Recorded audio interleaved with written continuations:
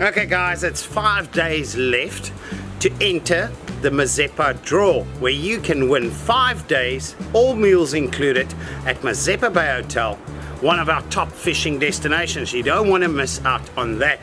The cutoff is 22 December at 12 o'clock that evening and we'll be phoning on the 24th, Christmas Eve at 6 o'clock, the winner. Now here's what you have to do. Just send us a mail to splash at asfn.co.za as stipulated below with your name, surname and cell phone number. Guys, it's an awesome, awesome trip.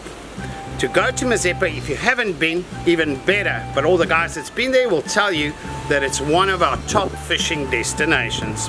Courtesy Mazeppa Bay Hotel and the Daiwa Kingfisher, giving back to fishing.